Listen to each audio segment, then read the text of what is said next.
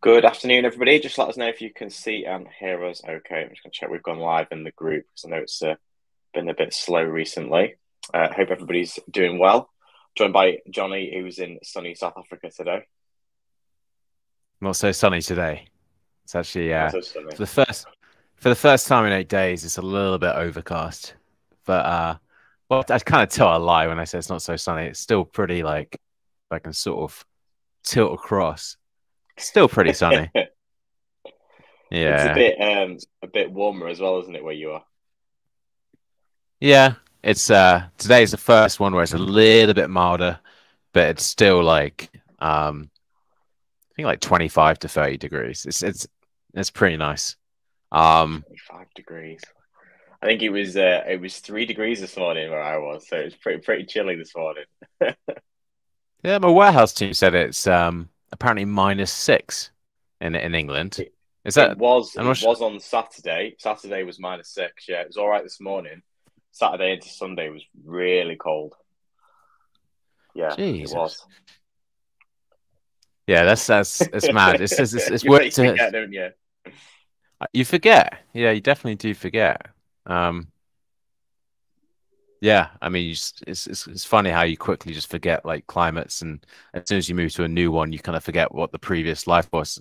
It was sort of I went Gran canary where it was really warm, then to back to England where it was sort of frosty, minus degrees, and then now I'm to Cape uh, Cape Town in South Africa where again it's it's beautiful weather. Um, I guess Gran canary is pretty much an African island, so I've kind of gone back that way, but obviously a little yeah. bit further south on on on the globe. But yeah, how how you doing, Matt? Are you uh, apart I'm from good. the cold?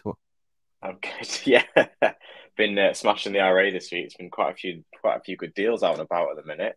Um, seems a lot of people have brought the sales forward. So if anyone's in the RA game, um, and I posted the day, a lot of people said that they've had some good success. So um, some really good deals out and about at the moment. So been hitting the miles recently, but uh, yeah, in the miles. so good, so good.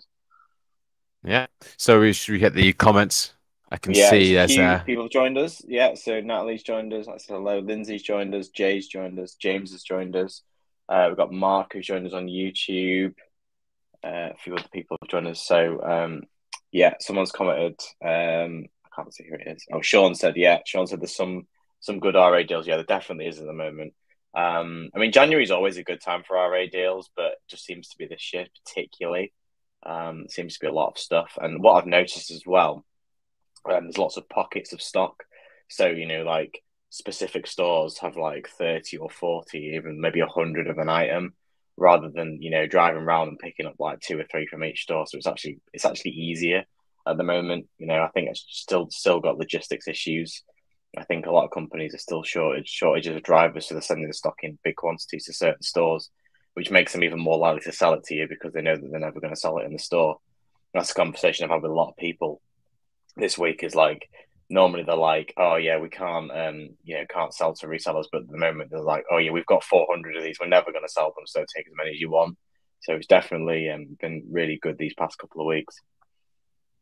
Yeah, is that sort of back to the sort of logistics delay during COVID, where everyone got delayed, all the all the shipments got massively delayed, and then it all started coming in like now and the, and the last sort of six months to to to, 12, to a year. So everyone's just sort of oversupplied because of the uh, delay, and now everything's just sort of coming at once potentially, and now everyone's overstocked, yeah. and now there's lots of deals. So in that sort of scenario, I guess it's perfect for for for arbitrage. Yeah, for retail arbitrage for sure.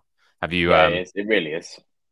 So have you st- stuck around locally then? Are you are you able to sort of source in your sort of uh, affinity, like your sort of local area? Or yeah, there's, sort of there's been out? a lot in my local. I've actually not been that far. I've just done lots of lots of trips.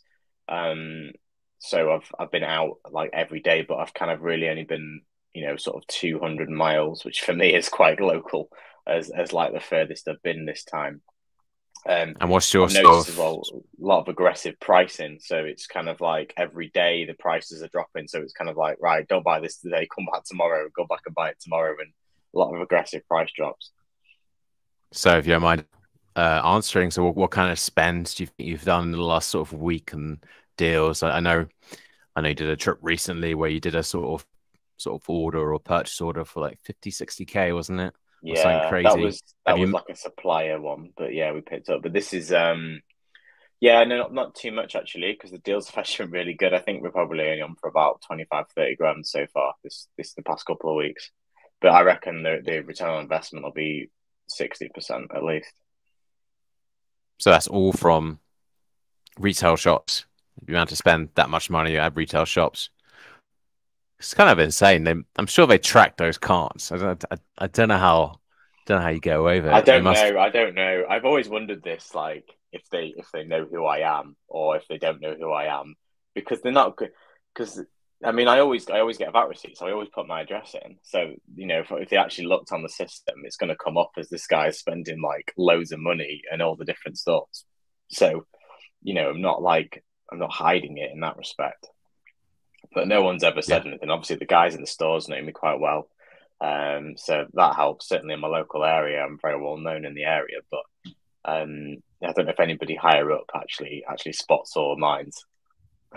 Natalie's, I love Natalie's comment. Don't you know who I am? Yeah, it's been a few times I've I've, I've dealt with objective staff and thought, you know what, I'm not going to pull the "Don't you know who I am" card. Yeah, I mean, in these sort of times, I think I think anyone will sort of accept sort of twenty five grand being spent in a week. Even if you're in the big, you know, one of the big boys like John Lewis, I'm pretty sure it's a nice little, nice little sale and gets rid of their stock, right?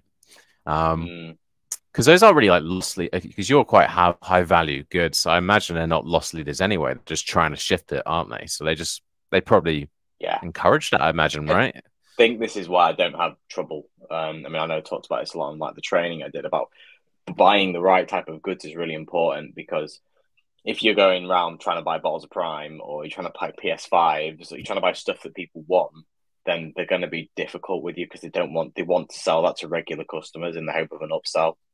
The stuff I mm. tend to buy is end of line stuff, so they want rid of it. They want they don't want to keep it, and they're making losses on it, and they're quite happy to move it because it's it's like I say, it's end of life and it's taking up shelf space for the new version of of the product or some other different range they want to stock. So they're usually very happy to sell to me, and I I don't really encounter these objections very often.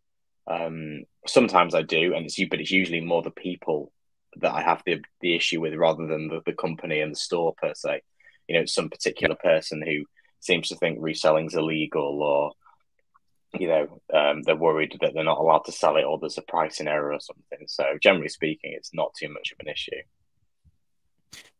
yeah we're um speaking of prime drinks uh, we went live with that sort of last week on our store uh, we're not doing the wakey wines um, you're not going on tiktok we're not on tiktok no it's actually it's a good seller, but we haven't done any sort of front page advertising. Mm-hmm. I actually think Google actually banned advertising on it. I might need to do an appeal because they? they saw it as they saw it as a health and pharmaceutical product. So they thought Prime Drinks was a health pharmaceutical. So they, they weren't letting me advertise it. But having said that, we're still getting like I've looked at today. We've already had ten separate orders uh, of the, of the Prime Drinks, uh, and what I've done is set max of one per uh, one prime per order, uh, and I've set there's three different flavors, uh, and I've set the price to six pounds ninety five, which is pretty much breaking even with the wholesale price I got it. So I didn't get it like some crazy wholesale. Like the wholesale ripped me off. They made all the profit from that probably by importing from America. Um, but you know, I'm getting sort of steady sales, and what I've done is because our uh, free delivery is at thirty pounds, I'm selling it for six pounds ninety five. Usually, what they do is uh, order free, and then they'll pay a delivery charge, and I have a markup on the delivery, right? So I'm getting what I think is one of the most affordable places to get prime retail uh, on my store. What I know, I think it's like the but I'm sort of trying to incentivize people to go over that 30 pounds to sort of or to order more, right? So they can order other stuff. But at the moment, they're just ordering Prime and paying for that delivery charge. And then I'm paying, I think I'm making about one pound 70 on that delivery charge. So, you know, it's pretty good. You know, we charge four pounds for delivery and for us to deliver Prime as a standard rate be two pounds 20. So, yeah, if you're including boxes and labor time, we're making about one pound 50 on those. So, you know, we're not going to wakey wine routes and going on Amazon and getting crazy. yeah, getting rolled um, anytime soon then from selling prime. Yeah. yeah, I don't want to. Like, I to be honest, I just wanted to like have that offered on on the store, mm. uh, and the initial goal is like, which has kind of gone, but hasn't really worked out for us. Was like, I saw I wanted to break even on it, but I saw it as a marketing cost that the way you'll get the money back, right? Yeah. You know, like I wanted that sort of keyword, the best keyword, prime drinks, you know, KSI, whatever it is, people to search that, and then it goes to my store, and then you build traction, and people come back. And you know, potentially people who have bought Prime now, who've set up accounts and stuff like that. I now have their emails, I now have their customer list, and now I can sort of get more marketing sort of content to them. So, you know, I've got ten orders of Prime and today, and I imagine I'm you know we have enough stock for about you know a few hundred orders that's a few hundred emails we've got um you know to potentially market to more. I imagine we're like trending more, and I imagine it's pretty good for like like the Google algorithms and stuff like that. I need to look at the actual yeah. back door of the data. So um, it's not a massive secret that I'm trying to get away here. It's not like some master plan, but my goal was with Prime was to buy it for as cheap as I, as I could. I could probably import it from America, uh, but at the moment, you know, you never really know when uh, they're going to start distributing in the UK for cheap, and it just becomes available. So it was too, for me a bit yeah. too much of a risk to sort of go crazy uh, and buy containers worth, and you know it, it, it probably did would would work, but yeah, oh well. Uh, and then yeah, just break just break even, and then get that marketing, and it was always just a, a marketing trick, and yeah, we'll see what happens. Um, the store's actually going pretty well now. Uh, unfortunately, and you know it's a good sign but um i showed you guys the link yesterday where someone's faked our store on facebook so someone's now got a fake store of our store on facebook which is like scammy where they send like fake uh links out but at least we know that oh that that scammer has thought oh that store has got enough traction and enough reviews they seem legitimate where i'm going to fake them so i guess yeah, that's a, is that a positive success yeah surprise is success right imitation is the the best one, whatever the, the quote is, right? So it's interesting, but you know, I probably you know the actual sort of way of this prime drink is you should really YouTube it and, and, like TikTok it and then like leverage that and sort of get other traction that way and uh, get the TikTok crowd in saying this is how you get free marketing for your store um, and all that sort of thing. But who knows what's going to happen? Eventually, I guess they'll have enough supply. I don't know if that craze will ever run out. Is that just going to drop, or are they just going to keep launching new flavors? Uh, we'll see. Who knows? Yeah, Natalie said it's just imitation is the highest form of flattery. Yeah, that's it. Yeah, no, but as as a strategy, I think it's a fantastic one. It's one that we've we've done uh, quite successfully. You know, when you have your own website, you have to have your own traffic, and when you have your own website, you actually appreciate Amazon a lot more because you actually understand why they charge the fees because you they have how much traffic they have. And actually, some of these platforms are very reasonably priced when you consider how much you can pay to have traffic diverted to your website, you know, through Google. So, you know, normally most people have an ads budget, which is a loss. You know, they're not getting that money back and they hope that they convert customers. With this, you are making money off gaining customer emails. So not only are you making a small profit, but you're effectively getting new customers, new traffic, as a result, Google will rank you more highly because you're seen as having, you know, converting sales because the conversion is very important in this. The last thing you want is traffic without conversion because that actually puts you down the algorithm. It's seen as a as a, an issue with your website. There's a fantastic way of gaining new traffic and not only not costing you money but making you money as well. Like you say, you you can potentially upsell other products or you've got the emails that you can remarket to in the future um, so yeah, it's definitely a very good tactic when you're starting out is to, to try and get some of these, you know, really hot products, sell them at a reasonable price, you know, just above break even, make a little bit, you know, a couple of pound profit on each unit, and then, you know, um, reap the rewards from the marketing. And of course, as say, it's customers that will potentially come back, um, not just a marketing thing, but they might, they might, you know, deliver good service, deliver a good experience. They might come back to you in the future anyway. Yeah, and the other benefit is those customers who have bought Prime, yeah, they're going to tell their mates and their family, like, yeah, you can get Prime from you know our, the store that you know that's you know word of mouth, and it gets spread. It's just sort of being marketing, isn't it? So today it's not actually a Shopify episode, isn't it? We, we were talking no, it about meant to be a Shopify episode or an RA episode. No, it was actually so Um, what, what we're going to discuss today was was firing yourself, and I think you you're the poster child for that today because I'm in my warehouse and you're currently in South Africa. So I think you're yeah. really the poster child for it today. Yeah, it's like we've done like the non. I guess it's sort of kind of clickbaity, but I have to put it put out here that you know Andrew Tate, who you know no one really likes to talk about anymore because obviously what his charges that uh, not charges, sorry, what's being accused of him is obviously absolutely horrific, and if he is found to be guilty, then he's a very horrible person. But his main thing and his main marketing was that people wanted to get out of their nine to five, escape the mm. matrix.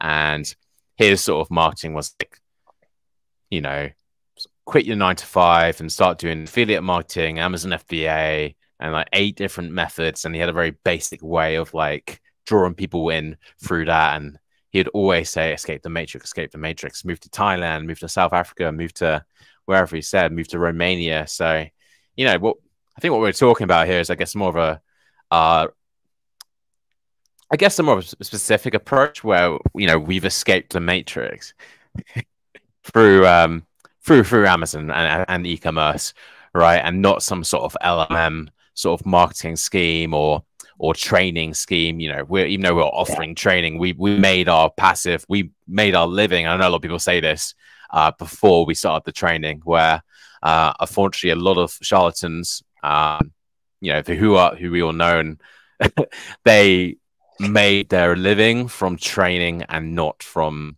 the actual business they do.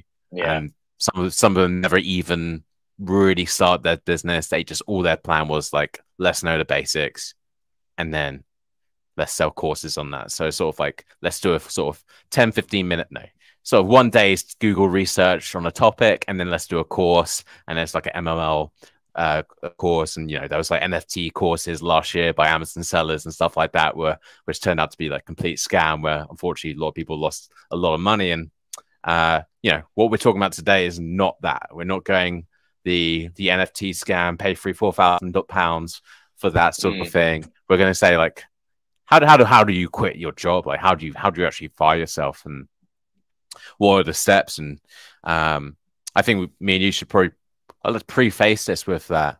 You know, for us, we're you know double income. We both have partners who make good in good good income as well.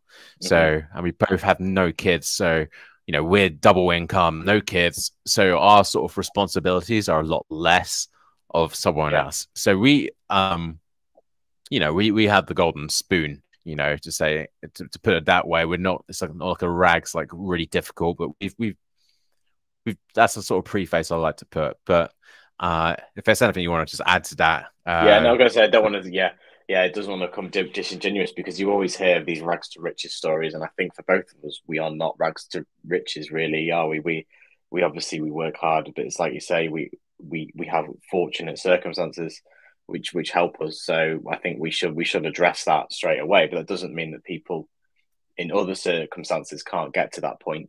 You just perhaps you know maybe going to take a bit longer, have to do it in a slightly different way, bit less risk. For example, you know, I when I started my business, full transparency, I was 20, 21 out of uni, living with my parents. I had no risk. I had no risk at all.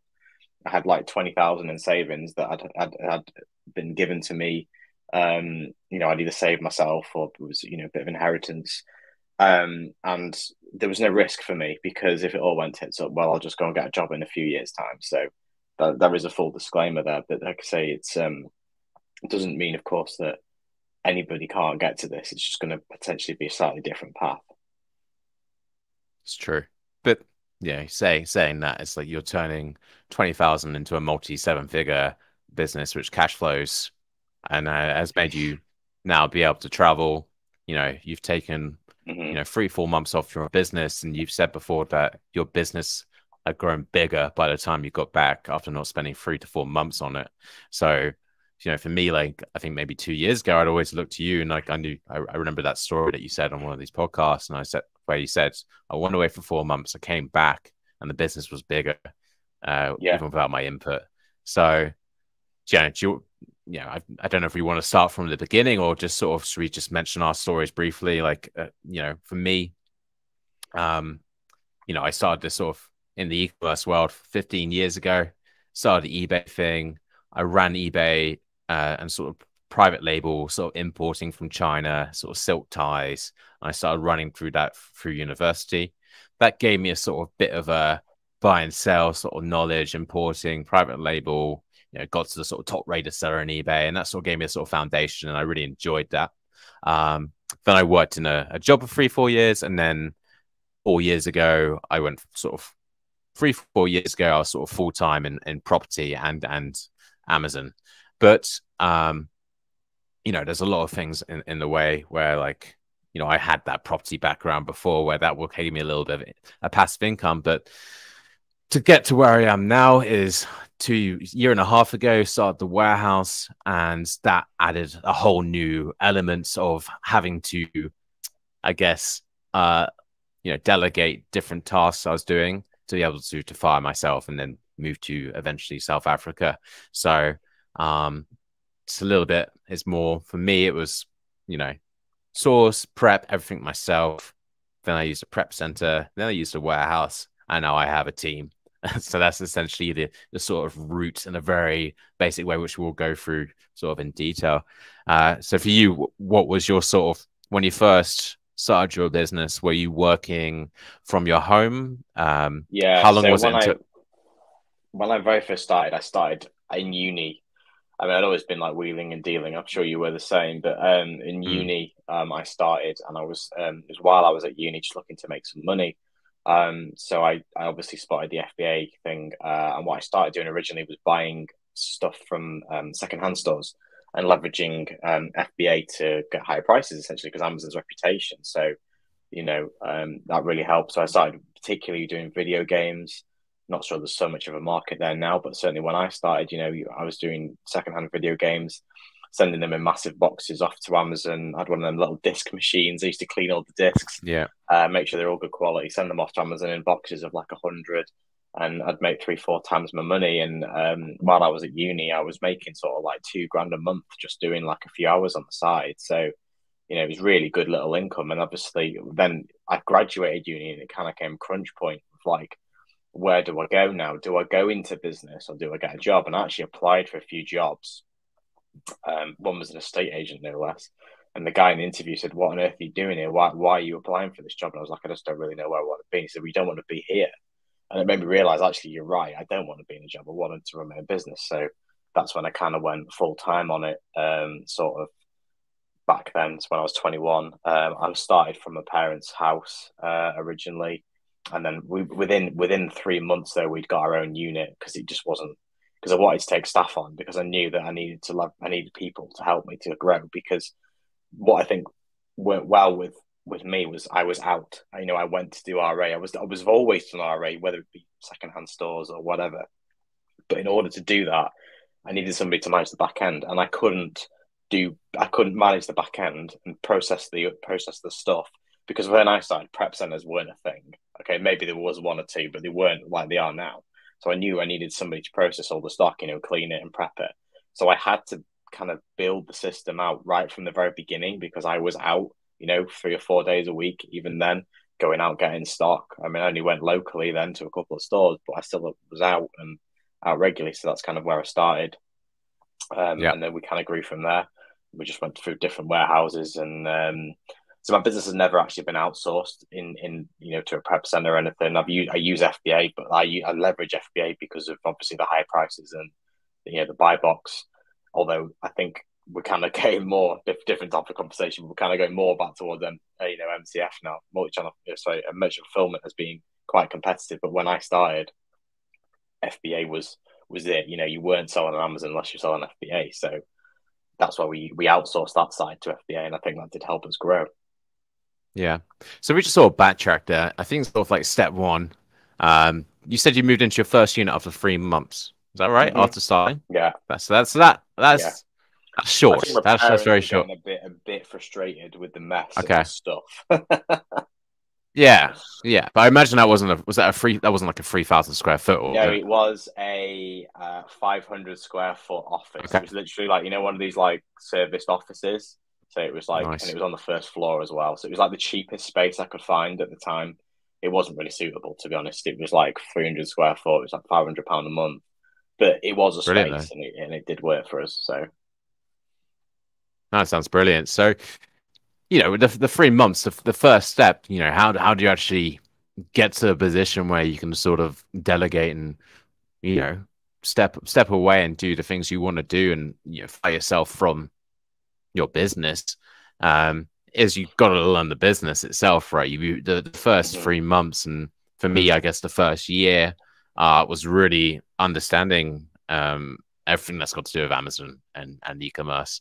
Because you know, when you start to hire, um, it's impossible really to well, impossible for, for for Amazon and stuff like that. You have to understand everything that you're doing in order to pass on your skills and your systems. So if you're just sort of you know starting your own business, but you don't know what you're doing, then obviously the first step is step one is learn the business, learn everything you can about Amazon and sort of get obsessed and work really hard and really know your stuff. So I'd say like, yeah, step one of everything, right? Before you get a prep center, before anything is understand the business, try and do everything you can. Um, you know, try and fit it into your sort of work schedule and um, you know, every hour you get that's free really is, you know, in my in my view, if you're starting a business, it should be somewhat of an interest. I think so. Uh, every yeah. sort of hour you're doing, when you have free, just yeah, put it into the business, learning as much as you can, listening to podcasts, yeah, I'm infantry and all the sort of basics. And I, I think that's always the fundamental step one. So if you sort of yeah think like what after the after that was the sort of natural route is, I would say, is potentially like you have to think. Well, do I prefer sourcing or do I prefer prepping? You know, if you're working from home, I'd say you have two directions, right? You, you either have to think to yourself, are you more of a, do you prefer the sourcing side or do you prefer the sort of prepping stuff, right? So in that way, you have two routes of like, where do you put your first money? What do you invest in? What's your first, what's your first overhead you're going to invest in, right? And mm. I guess that sort of takes you into two, two routes where for me, I, I really like sourcing and up until probably a year ago, I was sourcing pretty much non-stop for the business and that was sort of my main thing i used to love doing it. Uh, i used to do it in my previous job I always like data and always like doing that sort of thing. Uh, but i stopped doing that. Uh, but so for me was to move the prep from the house um, and out of you know yeah, clear some space because it was getting pretty yeah. crazy with the fort with the Fortnum's chocolates, and uh, I always bring up Fortnum's chocolates, but Fortnum's chocolates used to come in like eight to ten boxes, big boxes of chocolates, and uh, I'll get that out the door in a few days, sort of thing, for uh, for Christmas time. So for me, the first one was get out of the house uh, and concentrate on on sourcing, and I started using a prep center. Obviously, you didn't have that luxury, right? With no, the, the prep no, center so, back yeah, in your time. I didn't didn't have a prep center because I don't think they existed back then.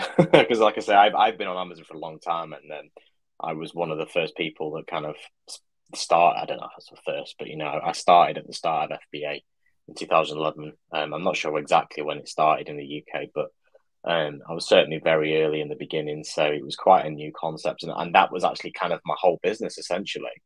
Uh, in the very beginning, was literally just buying things and putting them on FBA because FBA, right at the very start, had so much leverage and you could get so much more money because back then having something delivered next day was just like inconceivable. You know, you know, t- 10, 10 years ago, you would be looking like three to five days would could be considered express delivery. Now then Amazon just come along and go, right, we deliver everything next day for seventy nine pound a year. Um, it was a complete game changer. Now it's the standard. You know, I think most people, most companies offer that, but back then it was um, a very unique offering. Yeah, precisely, precisely. So, yeah, that's that's the thing, Like You've got the the prep center route or, or the, the sourcing route, and I guess what we're sort of starting to get into this is the sort of fundamental basic Amazon business where basic Amazon business, but sort of FBA only business. How would you fire yourself from that FBA only business? Well, the first step is how what you need to cover the there's two chunks, right? Admin, admin yeah. sourcing and, and, and prep center. So the sort of prep center really covers a lot of the packing and really takes away a lot of the stress, right? But you're adding, you know, 40, 50p plus about 60p per unit, unit, to yeah. to to your margins. So, you know, you need enough volume to start to absorb that. Um, and unless you have some sort of injection, you know, you need to sort of build that volume up, get enough sales so you have enough net profit, and then to reinvest that and invest your profits or wherever you have left into, I guess, the other other side of the business, which is admin and sourcing. So from a very basic uh, business, you know, all you really have to do from there to sort of fire yourself on almost from this sort of passive business, whereas Amazon FBA only is, I guess, hire uh, a virtual assistant or two who will cover the admin and will cover the, the sourcing, but uh, yeah, yeah, sourcing side.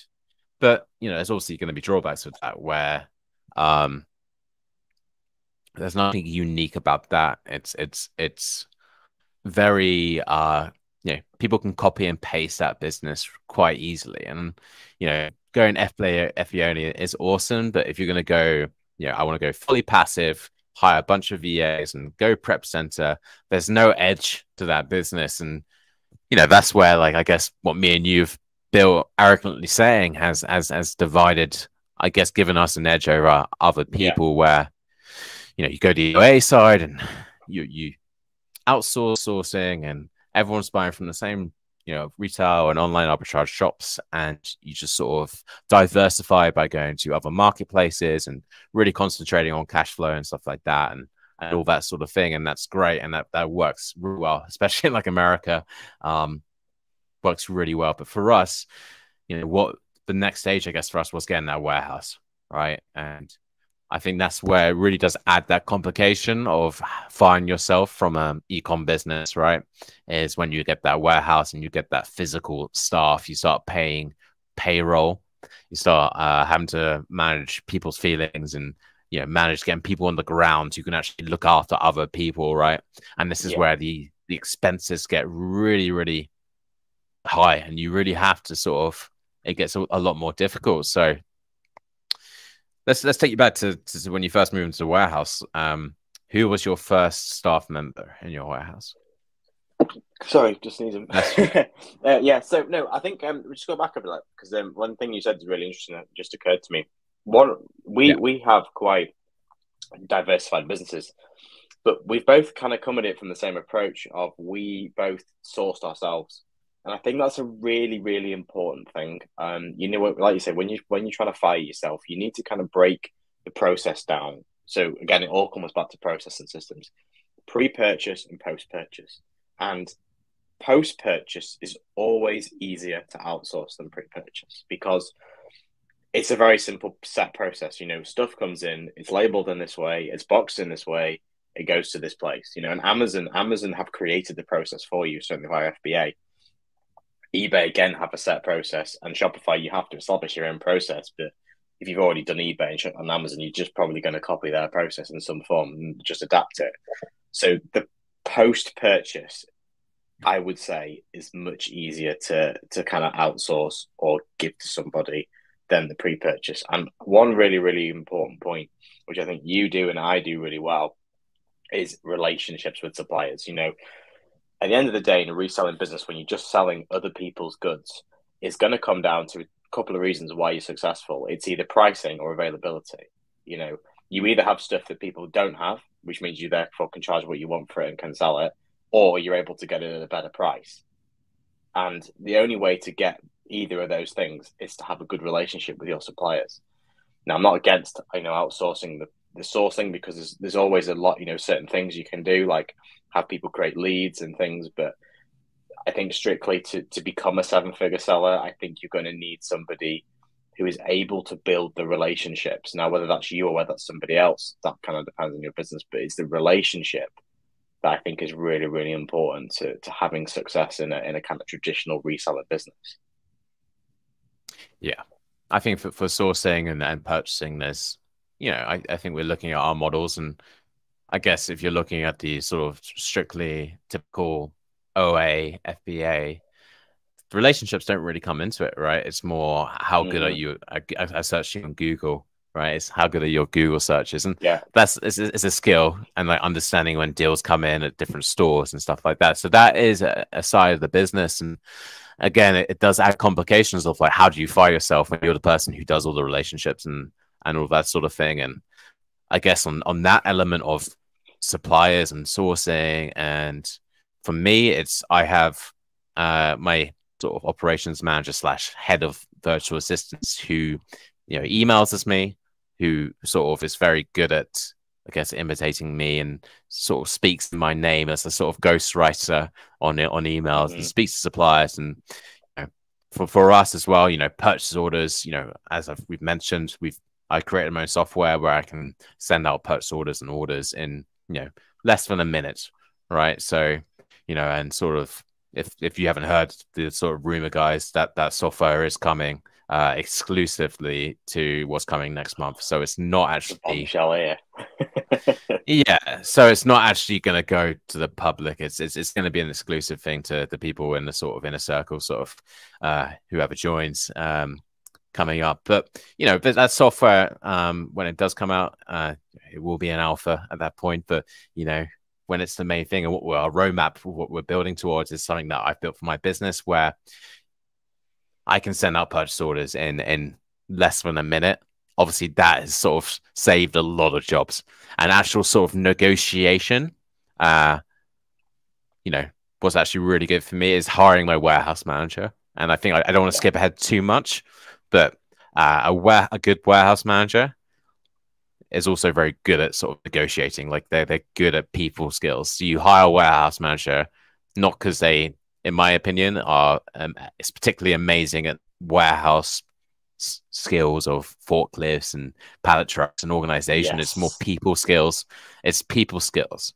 So you know what I do is I use uh, my warehouse manager is very good at negotiating. So any supplier really that, that calls up or that we want to call up, he will mostly do that. And you know, it makes us look more professional because he'll say, you know, operations manager or whatever, and he will speak to suppliers. So that's how I've got myself away from that that side. But I think we can come back to that. Um, so should we get let's get to the questions or should we get to your the question? I, I want to know what your first hire was in the warehouse, and I'll tell you what mine is after. Should we get to the questions first?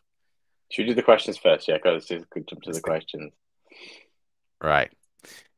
So I haven't got I haven't got on Facebook. Yeah, have you got the right? I have. I am on the conversation. Uh, so it's Marina says we are looking to rent a warehouse in Germany. What are the best tips and tricks to look at? Uh, I, I, I never looked. it's hard work. the German admin system is one of the worst I've ever dealt with. The sort of German admin, the amount they charge for legal fees, uh, there's a complete, complete ripoff. I, I hate the German system when it comes down to legals or anything admin or anything paperwork. They take a long time and they charge a lot of money starting up a business in Germany, it's the most expensive place in Europe. So adding another element of a lease and getting your own warehouse, um, I, I, I mean, I don't want to give, you know, I, I don't know your ins and outs of the business, but uh, I imagine it'd be very difficult. Not difficult, but expensive. So yeah. just the admin and paperwork, I mean, and I'm, I imagine it would take a long time. So budget. Yeah, it, that, dep- it depends. Why why are you looking at Germany specifically? Is is is it because all your customers are in Germany? Um, because the thing about Germany is lots of other options. So Poland is a big warehouse, and the majority of FBA orders on the east side of Germany are actually fulfilled from the Czech Republic or Poland. So potentially something to look at there. Also, the majority of the companies I deal with in Europe have their warehouses in the Netherlands. They're they're a lot easier to deal with and a lot quicker. So if it's just to get into Europe, then you know maybe consider um, either Poland or Czech Republic from a cost perspective or consider somewhere like the Netherlands, which is a bit more business friendly and a bit easier to deal with. I don't think there's going to be any language. There will be a bit of a language barrier, I think, with Poland, generally speaking, and certainly with the Czech Republic. The Dutch, most people, in my experience, speak English to an acceptable level.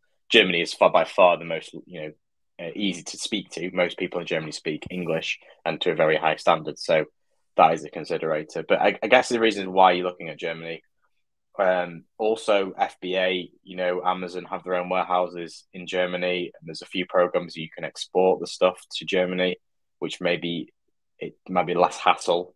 It's probably going to cost you more per unit, but it might be less hassle than setting up specifically in Germany. Because, like you said, there's loads of different compliance things, and since Brexit, it's a lot harder now to um, to set yourself up in Germany. Uh, like you require so, yeah. physical representation now in Germany. You have to have somebody in on the ground in Germany to represent your business. You can't just trade in the EU anymore, unfortunately. Yeah, to add to that, I think the only reason to get a, a, warehouse in Germany and not say Czech Republic or, or Poland is if your business is fully OA on, on arbitrage. A lot of these mm. shops mm. in Germany were, were, only delivered to Germany, so only to mainland Germany. So if you're doing one on an arbitrage, then one of the the issues of having a prep center in Czech Republic is you can only really send wholesale orders there. So if you're doing OA, you would need a you need a prep center in Germany. Uh, yeah. And you know, like we're, we're, paying pretty good price actually, by the way. So I, I don't know if you're looking for a prep center, and then ping me and I, I, can I can help you with that. I think it's about 60p or something, and then 100 quid a month. So it's pretty decent actually. Maybe bundles on 90 cents or something like that. But um, yeah, I guess the only advice we have is expensive. It takes a long time. Think about Czech Republic and Poland. Why do you need it? There's lots of options. Uh, again, unless we know the full story, it's hard to sort of advise, right? Um, but good luck. I mean, good luck. Germans are good workers, and it's just. Uh, mm. I think the minimum wage there is quite expensive as well in Germany. So that's another consideration. I believe the minimum wage in Germany is uh, something like 12 or 12 or 12.50, I think.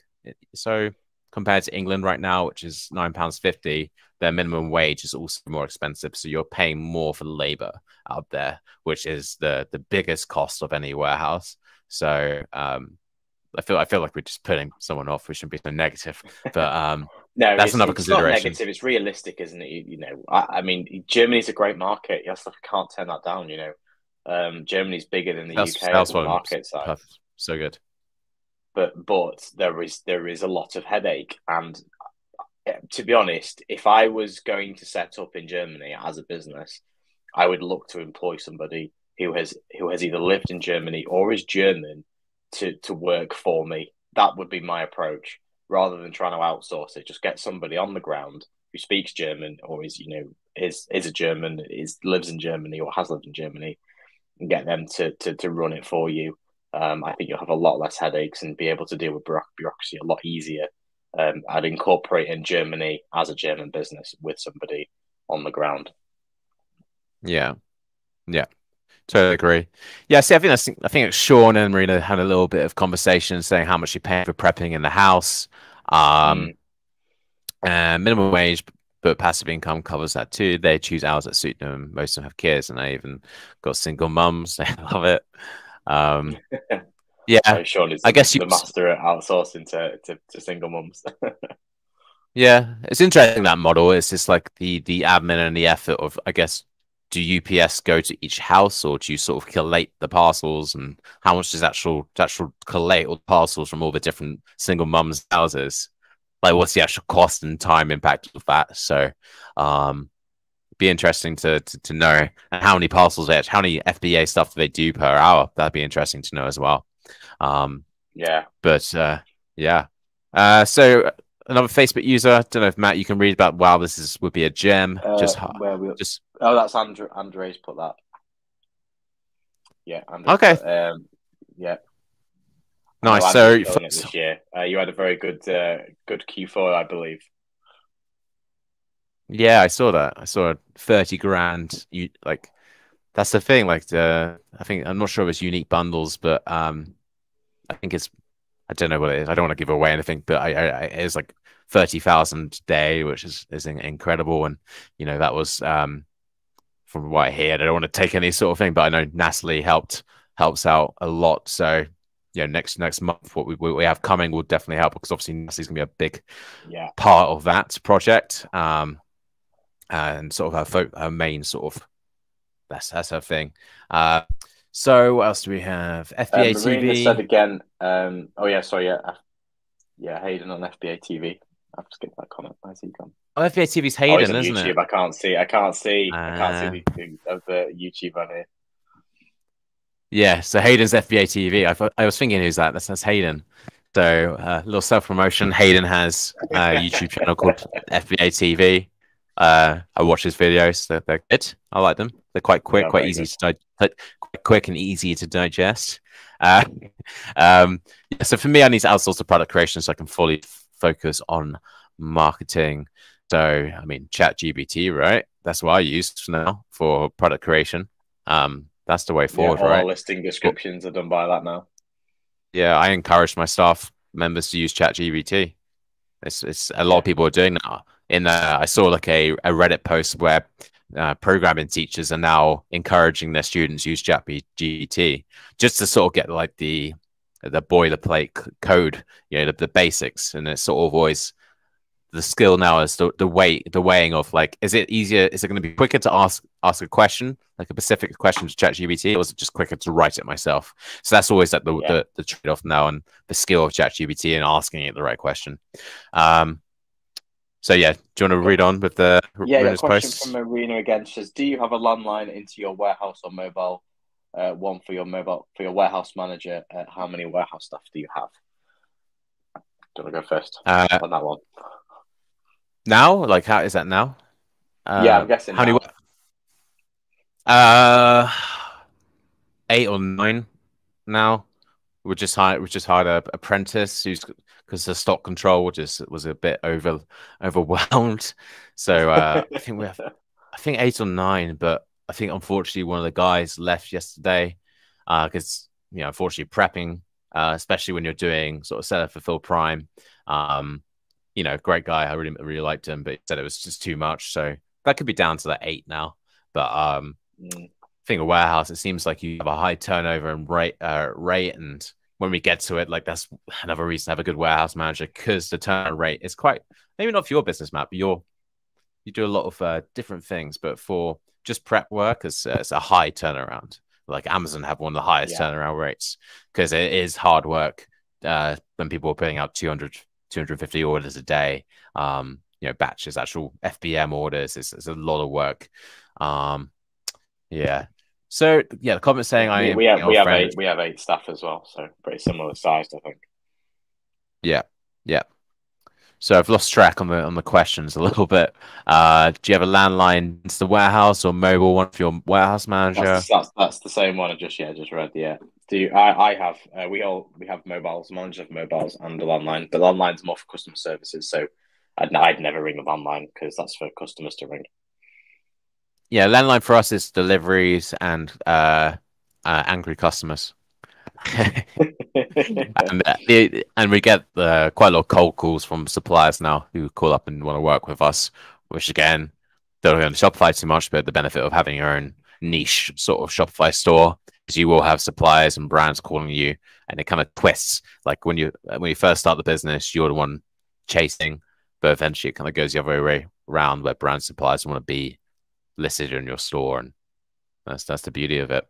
Um, yeah, cool. So, so, yeah, a lot of questions. Uh, yeah, yeah. I, I, I, need to get uh, Facebook.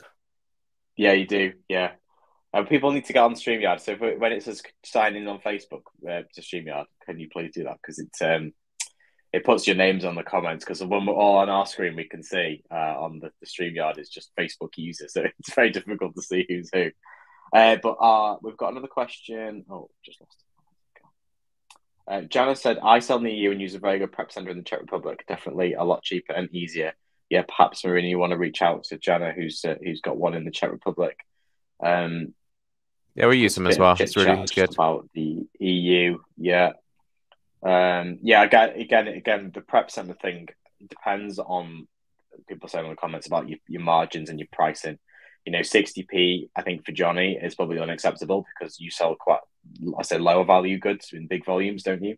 Whereas I sell much higher value goods in much lower volumes, and therefore the price for a prep for me would be would be no difference. Uh, whereas for you, it would probably be a lot of your margin, wouldn't it? So, depending on what your model would depend, I guess, whether you need to, whether you're able to outsource um, into the EU or not.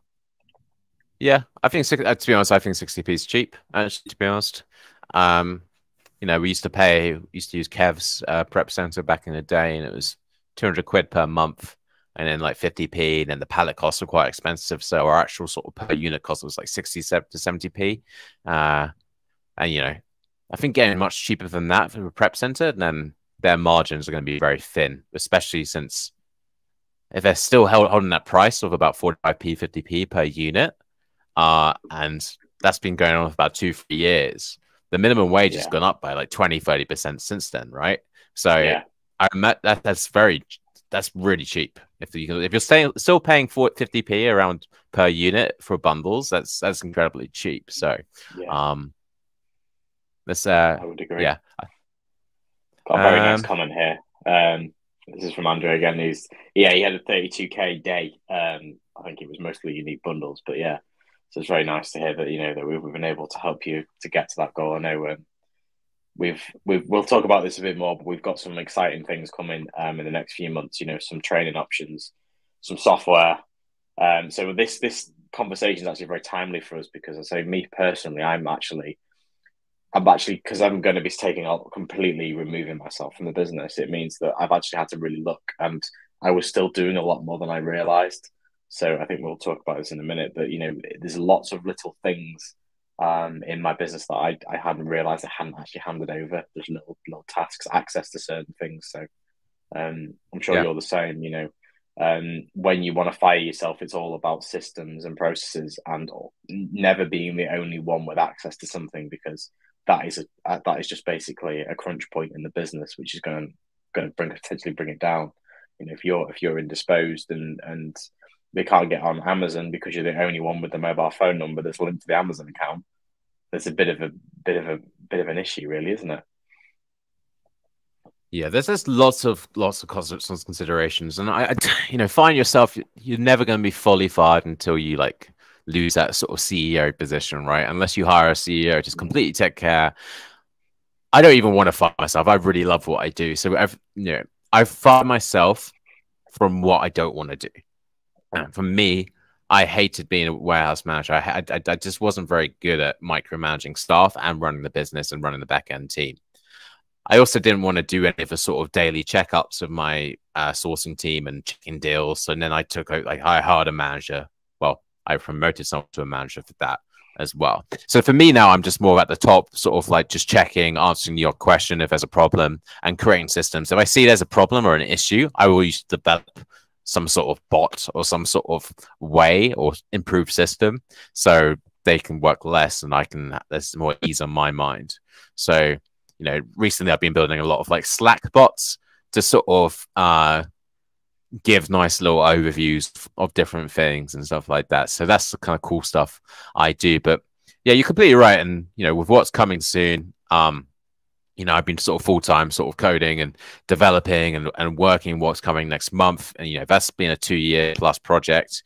Um, and, you know, I've been managing a large team of developers to get that going. And, you know, what we do have coming is it's, it's, um, you know, it's, it's a long roadmap and, and, and the first release won't be game changer, but it's, you, you will be able to see like why this will become so essential for your business and you know what we're releasing really essentially is inventory management but a, a, a, different view of doing it, a much quicker way of, of doing it, uh, being able to place purchase orders very quickly, being able to receive stock very quickly, um, you know, be able to create shipments very quickly, uh, and basically completely minimizing the need for sort of a lot of the admin tasks, a lot, yeah. you know, completely minimizing you know a lot of softwares. And I, actually i'm not gonna i don't want to you know we don't want to compare. With we're on our own i think on our software where we're, there's no real competition. We've kind of it's a new concept in the way we're doing things and the way you can do things. Um you know there's nothing of like downloading sheets and then analyzing the data. We're trying to get everything in front of you in like the most quickest and best way possible. And um you know what's coming what's so great about next month is actually it's actually not going to cost anything. It's it's going to be um yeah included as a sort of thank you sort of to test because we need to test out the software. Next month it's going to be included in everything. So that's that's the beauty of next month is like when we do release this uh this just all this training and master all this help and everything we're going to do next month it's going to be included and you know, the price isn't going to be crazy. It's going to be very affordable and a lot, hell of a lot cheaper than anything out there, any competitors in terms of training. And you get this software which will completely renovate your business and help grow it with the the very long and large round round map uh, roadmap yeah. we have. So again, um, it's that's that's my sort of. It's exciting, isn't it? Yeah, we've got some yeah some amazing things coming up. I think we're gonna you know as a team, I think we potentially, I would say, revolutionise the industry. That's a bit extreme, but you know, what we're delivering and how we're delivering it, I think it's going to be really, really exciting and something that's not seen before. And also the price point, you know, the offers we've released so far, I think, have been exceptional value, and we will continue to deliver exceptional value. We're not going to be charging thousands of pounds for for training courses. You know, it's going to be hundreds, under a hundred maybe for, for yeah. some of the content. So it's going to be very competitively priced. Yeah. So for me, like I, I, I don't like it when, um, you know, from my, my moral standpoint, I wouldn't say to someone that you've got to give up eight thousand or five thousand pounds now, and then over the next twelve months you're going to get, you know, twelve months of training, and people have no idea what they're going into, but they've been sold the dream of financial freedom, and a lot of people do that. A lot of charlatans, massive charlatans, do that, and for us, it's like we don't want that. It's just like we don't want to everyone to commit. They can just join for a good value where everyone gets good value and we can build and build and build and build this roadmap. And for me, it's something I, am passionate about and I've, I, I just love uh, creating systems and, and, building software. But um, yeah, like I said, what I built, you know, my my business's version of it, um, yeah, it did save a lot, so I could fire myself essentially uh, from those sort of admin backend duties uh, of creating purchase orders and you know analyzing stock and uh, all that is all automatic through software. So how do I find my job? It was from building this great software. So um, I think that's why it ties well in because what we are going to be releasing and the eventual version will be able to cut down a lot of hours. So systems is the key one to sort of fire yourself from your job yeah. is having brilliant systems that you can give everything. to some yeah. that you can give to someone else and they can easily understand it and easily implement it and and, and it's very easily trainable. You know something very simple. So yeah i think that's, that's a great comment the, here from someone who's you know the thing is it, it, it's you know sops with standard operating procedures um it's just basically documentation on how things should be done obviously and systems as well which is kind of like an ongoing thing. Um one of the ways i like to think about it is you think about think about it as a journey Okay, so with with a reselling business, the stock goes on a journey. Okay, yeah. what you need to do is you need to plan out that journey as to as to what's going to happen to that piece of stock and have every eventuality dealt with or covered by somebody. So, for example, the stock comes in. Who buys the stock? Okay, it gets delivered, right? So, who deals with the delivery? Um, something doesn't get delivered. Who deals with that? Okay, then it gets prepped. Who deals with that? What if there's um, an issue with the product? Who deals with that? Then it goes to FBA. Okay, who deals with the product if it goes, you know, it gets stranded, some fulfillable, something like that. Then it goes sold. Okay, that's nice and easy. Amazon deal with that. When it comes back, okay, who deals with returns? Who deals with reimbursements, chasing up the stock? And then when it does come back to you as a return, you know, do I do I automate disposal or do I get this return back? And what's your process for dealing with the return and who deals with that? You've then got basically a full circle of life, I suppose you could call it a product life cycle. And every element of that is then is then covered by somebody or some department within your business. And then you know you've got a basically a complete circle that can just grow and grow and grow. The problem is, is what a lot of people do is they put systems in for certain parts, and then they have bottlenecks where, okay, so what happens when there's an issue with the supplier? Well, I have to deal with that because there's no system for that.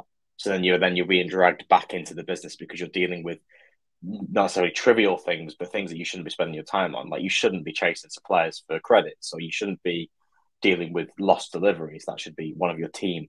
So it's really important. You kind of almost have a circle of life, I guess. I, I call it call it the circle of life, and and you follow that product journey with every eventuality covered um, that can that can go wrong with that. Exactly. So that's you know that is sort of in a nutshell what we're trying to cover and what we're trying to do is, you know, that whole yeah cycle of from from purchase and what, what stock do you need to rebuy? Is this good stock and how do I manage that stock as well? We're like, how are we going to reprice it and and all that sort of thing? And it goes to okay, so that's the stock we want to buy. How do you create the order? How do you you know track that in a sort of synchronized nice way? Okay, let's track that send that to the supplier or you know order it online from Boots or Tesco's or whoever you order it from. But you need obviously a log. You need to track that. You need that's that's that's the way to do it. And then great, then you confirm it. Everything paid. Then how do you receive that? What's your way of receiving it? Is it your prep center? Are you using a Google Sheet? Okay, cool. So we're going to try and cover that well. And then obviously when it gets to your prep center, the local warehouse or wherever it is, and then how do you create a shipment? Uh, what do you do with it? What's going to happen to that shipment when it gets to Amazon? And it goes around and around. Then like, how do you know if it's, yeah, like you said, if it's going to be stranded, how's the stock doing? And it's a complete circle going around and around. And, you know, that's, that was my goal. And with this, uh, what we have coming is just how do we cater to that? How do we make everything like that as clear as possible? Um, yeah. And yeah, that's, that's, that's, that's the, the long roadmap that we have ahead. And, uh, you know, we have a lot of cool features that we will, you know, I guess we have, we have a few cool previews coming up soon of uh, what it's going to be like. Um, and you know, our roadmap is is, is long and it's it's going to be cool. It's going to be cool, and again, it's included, so uh, it's gonna be good. But yeah, out that way without the pitch systems.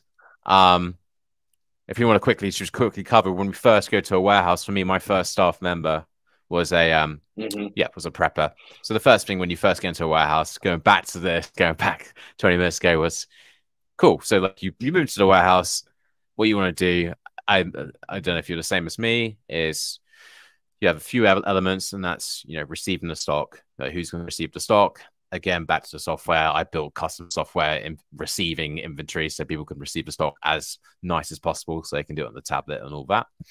And then who's who's going to take care of us so for us we have a stock controller. So i have a stock controller who does that full time. He's soon getting an apprentice so we're going to have a stock controller apprentice as well who will help him with that. And then your core of your team is your packers. So my first staff member was a packer pick and packer who pick pack orders dispatch it to the customer. So currently we have five or six of them.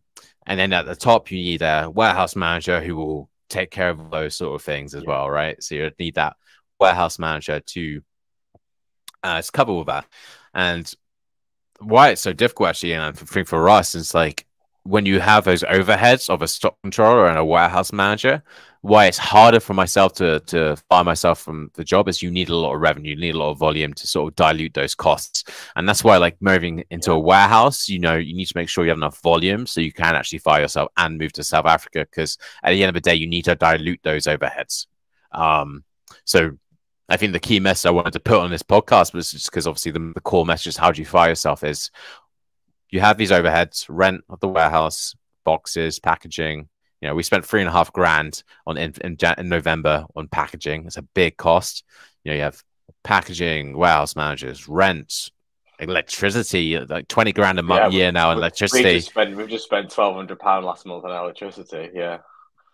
So your costs add and add and add. So you know you have these overheads as well, of course. Of I call the overheads of the warehouse manager and the stock controller, who are not actually uh, processing units, but they're enabling processes of yeah. the units, just like the rent and just like the, the, the roofs on their heads, right? So to actually get to a point where you can walk away, you need volume to dilute those costs by processing more stock and reducing those prices. So for me, how do I do it?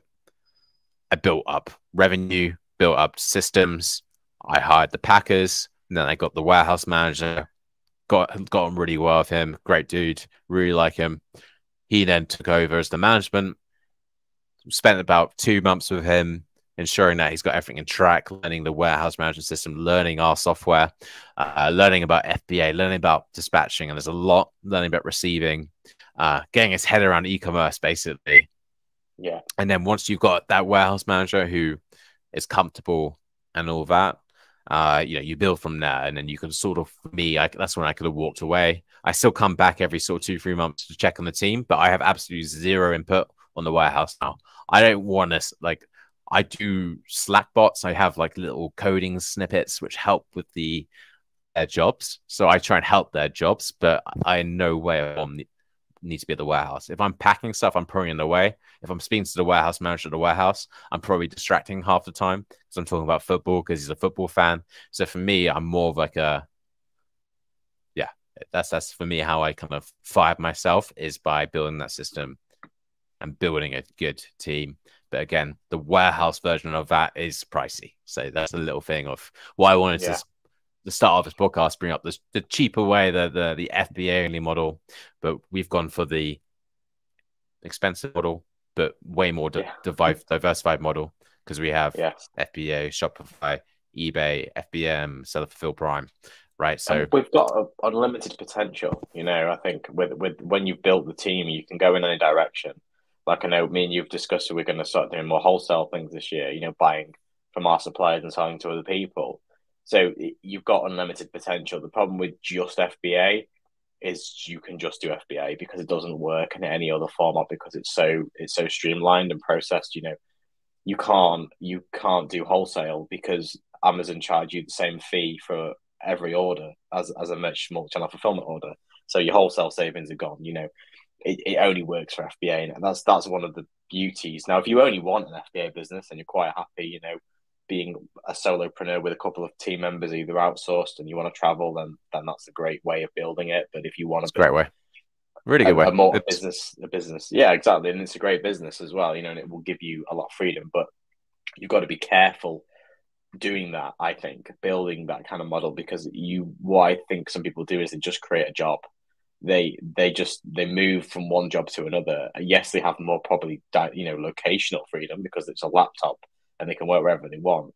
But all they've done is created a job, you know, where they have to work, they have to do this, and then, then other people do this. So you really, I think, really to build um, a business that you f- truly fire yourself from, you need a solid team and you need people on the ground that can can go and do things. Um, I, I do think, think very difficult. A, yeah, yeah. Just to butt in there, like, I, I do think like what some sellers have done, they if they have hired operation uh, operation managers who will take care of that. Yeah. So like that job and then is passed on to the operation manager. So they will build their FBA outsource business to a point where their volume's enough to then hire operation manager who will take care of the sort of issues of prep centers and the issues with yeah. um staff members. So I think it's, it's a lot easier way of quitting your job. And I, you know, it's recommend, yes. I, would say that's the, it's the more, uh, it's the easy way that I think most people would take. It's just, that's the, yeah, it's the, definitely it's easy, it's quicker. Easier, yeah, hundred percent, and it's quicker as well. Yeah, because you can scale a lot more quickly as well. But uh, I don't know if it hampers your growth long term. I think that, that, that depends on your goals. If you're just looking to replace your income with with something that gives you more time freedom, then maybe that is the better option. It depends what you want to do. I think me and you kind of are keen on building bigger big businesses. You know, whereas if you're just interested in creating an income, then that is a, probably a much better option to go down. I think in America, especially, I think in America, um, using a 3PL, it, it, you should 100% use a 3PL in America because because you have like insurance costs and when you scale in America up over 25 staff members.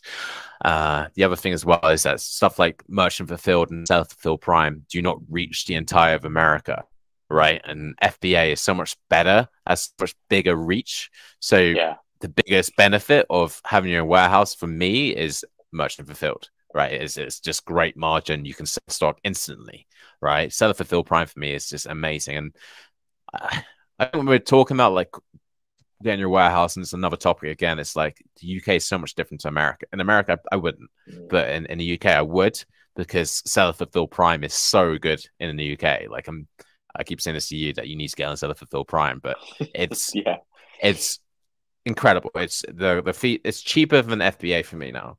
Like the the fulfillment costs. Um, but yeah, sorry, we kind of backtracked. I went sort of on a, a, a tangent now, but um, uh, yeah, I think a warehouse in the UK is just uh, it's it's it's builds up a much more diversified business.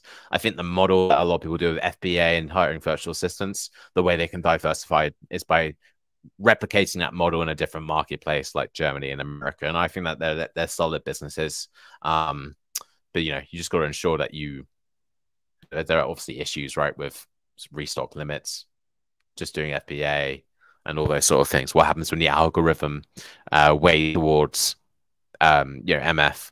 What happens when FBA is too full? What happens when America releases minimum order quantity? Like uh, I don't think America has minimum order quantity yet right? Yeah. So when minimum order quantity completely changed groceries in the, in the UK. If you're not doing minimum order quantities in groceries in the UK, you're missing a huge trick. You're missing so much margin potential there that I would say an FBA only grocery business is is not that great. But when you start doing MOQ and MF and certified build prime, it just turns into another into another level. So again, FBA like the whole virtual assistance bill, great stuff. But again, you have a very one track way of doing it, and that's higher price goods and stuff like that, right? You got to go higher price goods to sort of minimize and cut out that sort of prep fee and all that sort of thing.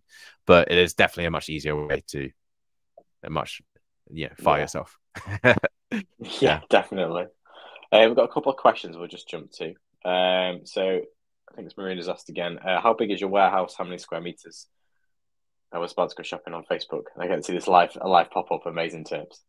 Um, well, I've got a two and a half thousand square foot and an eighteen hundred square foot, but we're currently moving the eighteen hundred square foot. We should be signing, hopefully, uh, a new warehouse on the same estate because they're on different sides of the town. Unfortunately, we couldn't get two together, um, so we're hopefully getting rid of the one of them and moving into one on the same estate at the end of the month. So that should be good.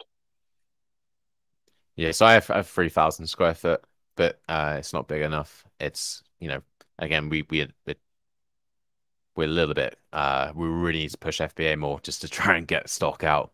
You know, yeah. that's the beauty of FBA is just try and get it off to FBA.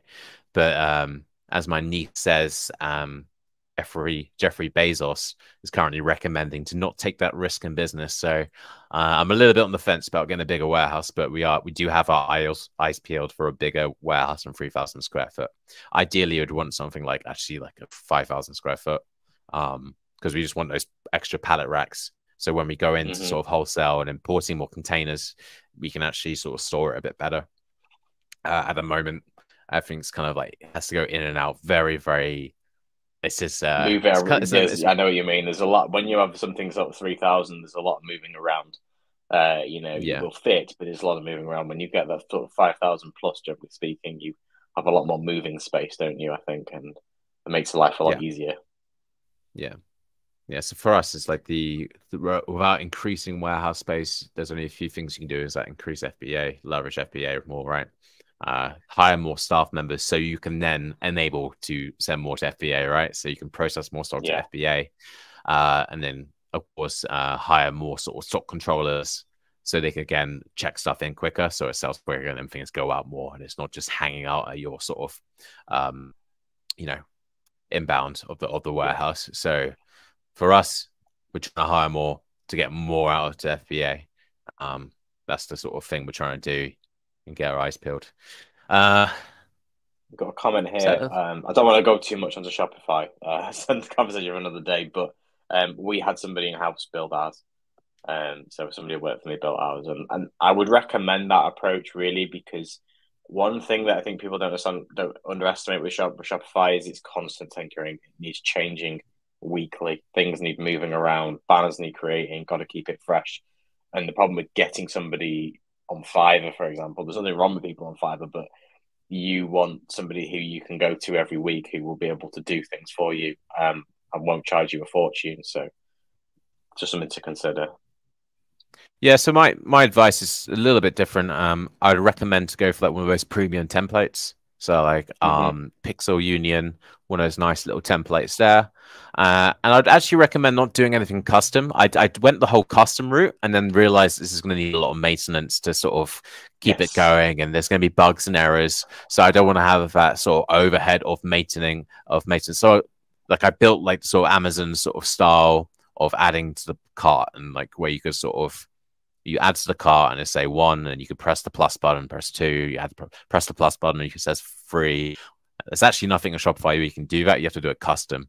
So I built that out and then realized this is a little bit buggy. I got to do a lot of maintenance. So I just took it all back and then went back to the default. And now I just keep it the default and just update that sort of premium template I, I uh, built. So all you really need, to be honest, is uh, good pictures and then a good banner, good web banner with which displays your uh, so what would I, I okay, what I do for this is buy a premium template, get some sort of designer. Uh, actually, no, you can set up a competition, a logo competition using. I can't remember the website is, but you can set up these logo, logo competitions where mm-hmm. a bunch of people will give that uh, will, will enter, and it'll be how you have like 200 people depending on your budget enter, and then you just pick where you think that you like the best. So get that to do that for your logo and your web banner and that's all you really need, and then launch it. Um, yeah, you can you can change up and make it look different with a cool web banner, basically. Yeah, that's all it's about. Yeah, and for, like uh, like we always say, familiarity is actually a good thing when it comes to e-commerce. You know, if something looks like Amazon, that's not a bad thing. People like that familiar, familiarity. Uh, again, nothing. That's a Matthew Wright top tip, but I'm stealing. yeah, you do. You got to keep your website looking fresh, as customers won't come back.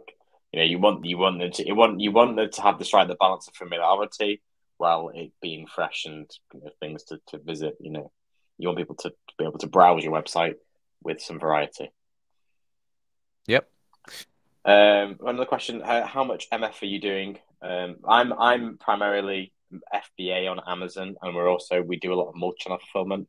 So we have um, stock in FBA that we then send to um, customers who order off eBay Shopify. Now, the reason we did that primarily was because of Royal Mail.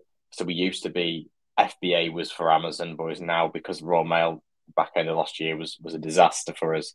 Amazon was delivering consistently. We we moved to that model. Um, that was our primary motive for that. So going forward, we may go back to more MF, but Royal Mail haven't sorted themselves out officially yet. So we will see. Yeah, we're kind of running like a ratio about 70 to 30 MF to FBA. That's because we have Shopify, eBay, eBay. I don't even want to talk about eBay. I hate eBay. I just don't like it. I don't like it anymore. Um, someone accused me of doing drop shipping the other day, and I couldn't remove the feedback because I use Amazon Logistics. I don't yeah. drop ship. I just use their courier service. So that annoyed me, and, and eBay yeah. wouldn't remove it. So I have a vendetta against eBay, and I'm going to leave any sort of training to Matt now because I'm it just annoys me. I like uh, eBay. eBay's good. Yeah, yeah. So yeah, seventy to thirty MF to uh to FBA. We're trying to we want to up that FBA though. It just it's just when you're getting like yesterday we had 700 to 800 orders on a Monday. We got 700 to 800 orders on a Monday that we have to pack. Uh, and what happens when you have so many MF orders, your FBA then falls behind. So it's hard to get that sort of ratio how many batching uh, people doing MF to, to FBA. And again, the only thing you can do is add staff, but then you have a constant sort of turnaround, people being sick, and it's, it's this is the things you got to deal with, with a warehouse. So yeah, more F, more MF than FBA, which yeah. I don't mind. Got another question. Uh, the image software sounds amazing. Will it be useful for OA or is it more for wholesale? Thanks. Um, you answer that. Yeah, it's good for both. It's good for both. Good for both. Yeah, because um, it, it, the thing is, I think one of the key things we, we, we kind of put in is it was built by sellers for sellers. So it's been built obviously primarily by by Jonny and his team, but obviously myself and Natalie have had a lot of input. And between between us, we have a, a variety of ways of selling on Amazon. Um, and we'll, so it, it, through that breadth of experience, it's been very focused on it will fit for RA, it will fit for OA, it will fit for bundling, it will fit for wholesale. Yeah. Essentially, we wanted to make it a system that works for sellers and not just one that's been built by software developers who don't actually sell on the platform. Yeah, and it's not a secret. Like I've I've mentioned that you know the ability to create a purchase order, and there'll also be the ability to send to a supplier directly.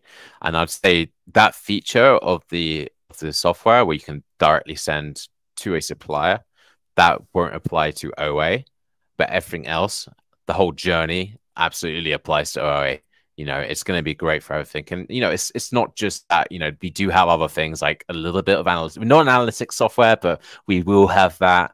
We're going to have some other cool stuff which we can't really say right now. Um but it, you know we have some very cool features that it's, it's going to 100% benefit oa just the sending to supplier purchase order supplier. But you should be creating purchase orders for all your orders. You need to track your orders 100% so it's going to be perfect for that um, yeah, so I think it, what it will do is it will take a lot of the certainly for beginners it will help because you won't have to build the systems because the system's built for you. And for a lot of the, the guys who kind of are, you know, using Google, lots of different Google Sheets and things, it will bring it all in together and make it a much more streamlined process. You know, your staff members, your VAs can go onto one system and see everything they need in front of them without having to click on seven different Google Sheets.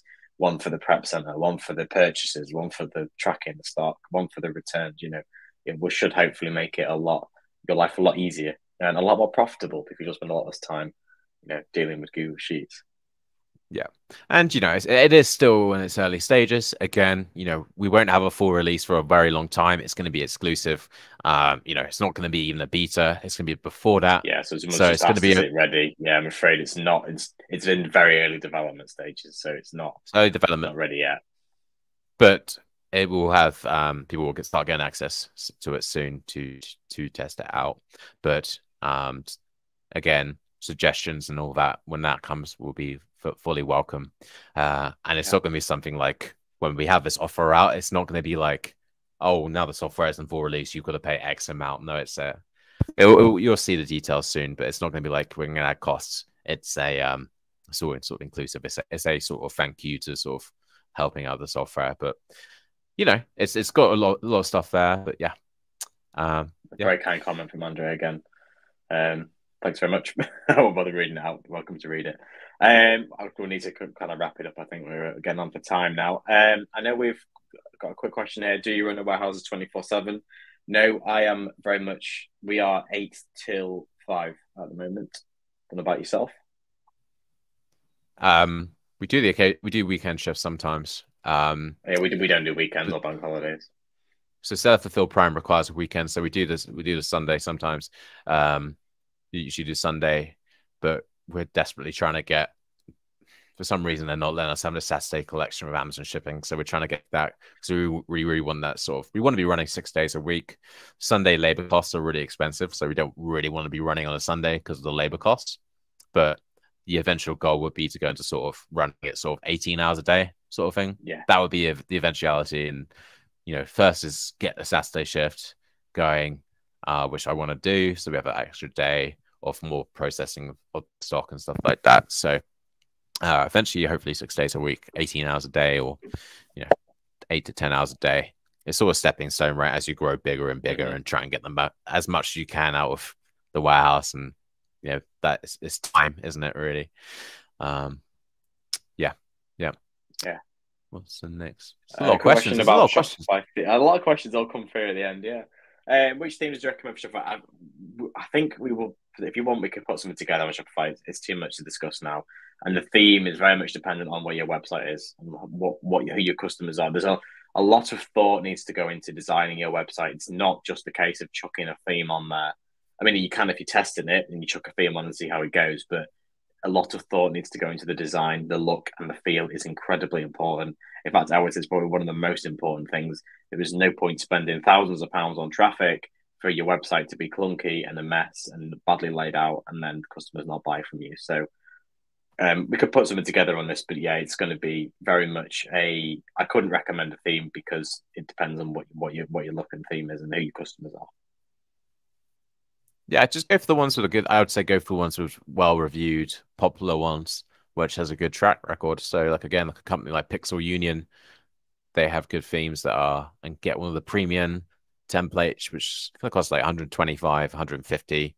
Buy that, six of that theme, yeah, and then um, you know, get someone to make a logo, uh, and then you know, build everything around your sort of color scheme and, and all that sort of thing. So, um, yeah, I'd get if you are yeah. going to get one, I'd get one off one of the third party websites because there's some on Shopify and the the free ones are a bit rubbish and the the paid for ones are, are very overpriced for what they are on the Shopify theme store.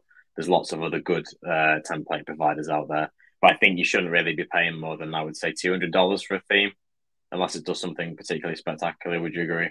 Two hundred dollars is kind of like I would say uppermost you should be paying for a theme. Yeah, I think I paid 125, 150. Can't remember exactly how much. I think ours but... was 170 or something like that. But yeah, that's the kind of your price point you want to be looking at. So um, yeah, definitely. I mean, you can always put it together on a, on the free theme just to test out the website, but uh, and then re- do a redesign later when you've got some customers and you've got some like you know kind of indication of of what it is. But yeah, a theme should be about two hundred dollars. Um, someone's asked kind of put myself down. We'll be releasing full details in the next couple of weeks. So yeah, we'll be um, we'll be releasing details to anyone who's interested, um, and you get the opportunity to um, to join. Um, yeah, cool. I think we just want to summarize again because I know we, we went off a few different things. I think if we just want to summarize in terms of you know how to fire yourself, I think um, the couple of key principles is going to be don't have any job in your business that nobody else can do. You know, that doesn't mean they have to do it, but they should be able to do it. If you have if you have a job in your business that nobody else can do, then you are still working in your business. You know, any any kind of function should every function should have um, what I call A and B people, so a primary person, a secondary person. There's no reason why you can't support your business and work in your business, but you should not be the primary person for any one job um, in your business because that is a bottleneck on you and that will stop you from firing yourself. I think as well, you know, take the leap, employ people.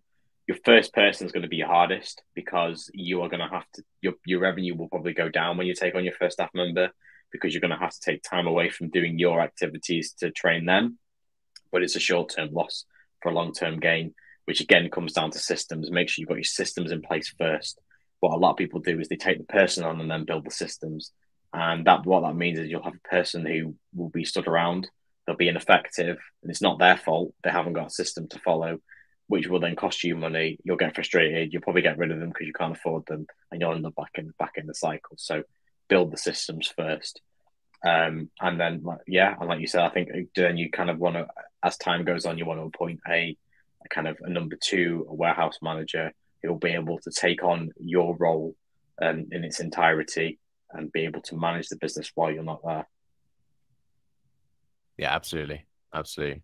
And, and I think the hierarchy will sort of naturally form in, in, in the warehouse as well. It seems like it has for yeah, me. Uh, and stuff like a stock control, she takes that sort of number two. It's usually for us, our warehouse manager and stock controller like work really closely together. And when the warehouse manager has to go off for the afternoon, he will take off, and that's the sort of natural hierarchy, hierarchy that happens. But um, anyone who's got a warehouse, you know, it, it is hard work, but you get get through it. Managing people in the, in a warehouse environment is a very difficult job. I think it takes a lot of a very niche specific skill set. Uh, I'm not sure if that's really an entrepreneur. If an entrepreneur is very good at that, uh, maybe they are. Maybe that's that is their skill set. But um, it's a long journey. It's it's a lot of hard work. But you know, you know, it took me just over just less than a year to get to that point from starting warehouse to being able to move to Thailand last summer. So, you know, put that work in. uh, work your ass off for you know just around a year, and then uh, fly using Avios points to, to, to Thailand or Cape Town or the Maldives. Oh, yeah. or, the, or the Maldives. No, I wasn't working from Maldives, but um, maybe you can maybe you can go there for three or four nights. Yeah. Yeah. But again, another discussion. Good in the Maldives, to be fair. It's pretty good. It's pretty good. The only problem, I don't want to go into too much discussion, but the only problem with the, the Maldives now is the Radisson Blu hotel scheme has completely changed now. So yeah, you can't get those really good deals anymore. But that's a discussion for another time because we're always going to go too long.